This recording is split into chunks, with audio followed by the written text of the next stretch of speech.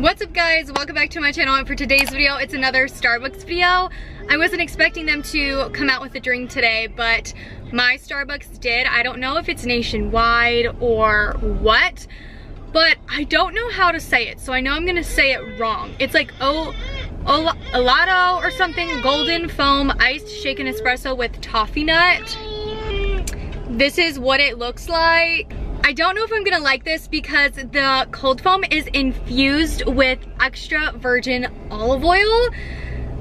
I don't know why they would do that, but I figured we would test it today and see if it's good. I personally don't think it's gonna be good. I'm getting a tall and it's gonna be $6.95, which is expensive. So I definitely won't be getting it again because of the price alone. But let's stop talking and head that way. Don't forget to subscribe to my channel for more videos and let's go to Starbucks. Hey, I have a pickup order for Hannah. So Thank you. No, you're fine. You a straw or anything? No, I'm okay. Okay. Thank you, you too. Okay guys, it is time to try the drink.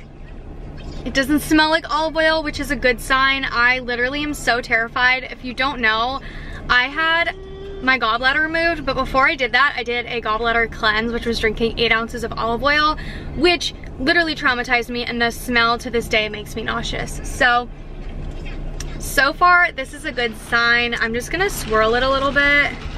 Just wanna mix the bottom up a little. Okay, cheers, here we go.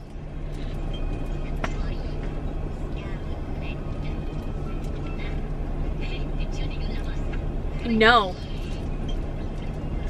No. Oh my gosh, no. Wait. Okay.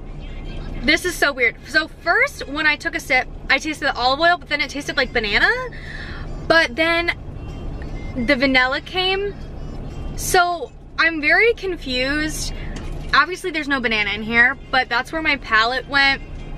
But when you first take a sip, it's definitely olive oil. Like I can feel it, I can taste it, I don't prefer it, I just would not get this again. That is my personal opinion.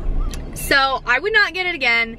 Like I said, it's very strong olive oil taste. So I can't even get to this because to me, I, it's just not worth it.